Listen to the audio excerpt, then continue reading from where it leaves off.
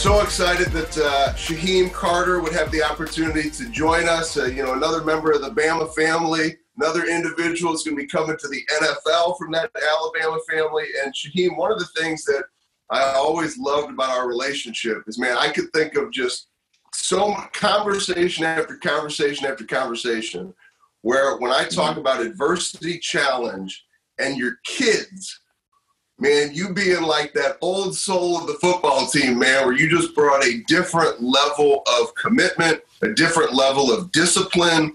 I just think it was incredible. But when we were talking about your kids, I'd see that fire in your eyes. So tell me a little bit about that burn, that fire for you, and, and what's caused you to compete and to be able to go from Kentwood, Louisiana to the Alabama Crimson Tide, and then now having the opportunity to go to the NFL. Uh, yeah, so definitely, uh, my kids definitely drive me. Um, like you said before, um, the fire that you see in my eyes when we talk about them, uh, it definitely, you know, it, it brings another person out of me uh, every time I speak about them. Every time, you know, I'm, you know, doing something that that, that contains football. Um, even, you know, even when I'm tired, even when I'm down and out, uh, I got to remind myself that I'm doing it for them. I'm doing it to provide to uh, provide for my family.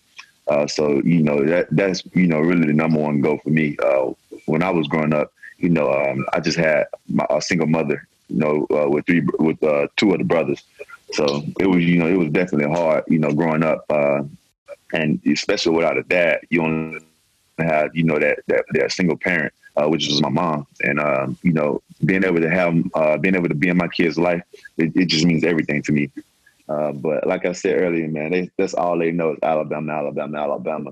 Every time you know a football game or something come on, and like they be like, "Daddy, that shoe, Daddy, that shoe," and they'll point me out on TV and things like that. And back at home, uh, back in Kentwood, my mom has uh, every every football game that I ever played recorded.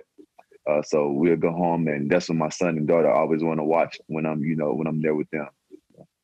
That's awesome. What What would you say is the greatest so you, you, take this fuel, this passion to compete at the highest possible level in the world in the game of football, collegiately, and now it'll be professionally.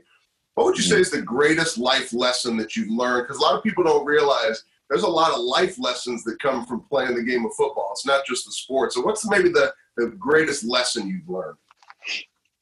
Uh, don't take anything for granted. Um, you know, always, if, if you're going to do it, give it 110% in everything you do no matter no matter what it is. Um, it don't have to be you know sports related. Um, it don't have to be your job. It don't have to be you know your your work uh, at your job or anything. Uh, as long as you're doing it 110 percent and you don't have you know you don't leave nothing in the tank. Then you know that, that's one of the life, life lessons I learned while at Bama, spending the four years there. Uh, if you do it, if you do everything, you know, 110 percent, and you feel good about it, then hey, you can live on with your stuff. But you know, if not, then you have to look yourself in the mirror every night or every morning and, you know, live with that. It makes me think when, you know, Coach Saban will say the way you do one thing is the way you do everything, right? It's like yeah, you start getting yeah. sloppy in one area, you're gonna get sloppy in another. Yeah, and right, right. So it, it really is amazing, uh, you know, how Alabama has prepared so many. I mean, the long, rich tradition is just incredible, and I'm I'm so excited for you. I'm so excited for your family. I'm so excited for the kids to figure out uh, that that new jersey and those new colors. What are oh, what yeah. are you what are you most excited about for this next chapter of your journey? Um, just playing a playing a game. Um, I love playing a game, uh, giving my all each and every time I'm out there on the field, uh, whether it's at practice or in meeting rooms. Uh, especially during the game. Uh, there's no question about that. But you know, um, just the just the individual individualized workouts that you know I do, uh, that all comes in play. You know, on Sundays uh, when I play and when I suit up. Ne- well, next time I would be suiting up. Uh, but definitely, you know, definitely just those little things.